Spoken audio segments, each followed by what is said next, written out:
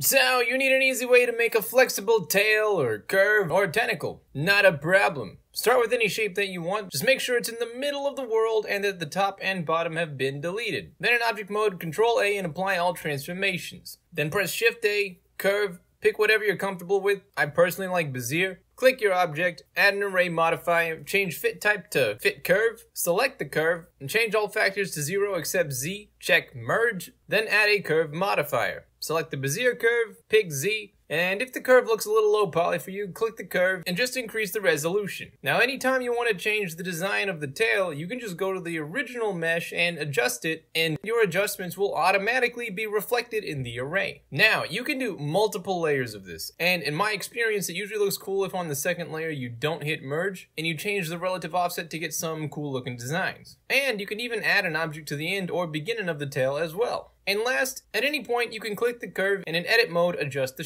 Now if you click on a point and you hit Alt S, you can change the scale, and if you hit Control T, you'll be able to twist it. As usual, you can move with G, and if you ever want to add new points to control, you can right click and subdivide for new points. Once you got all that, you're done.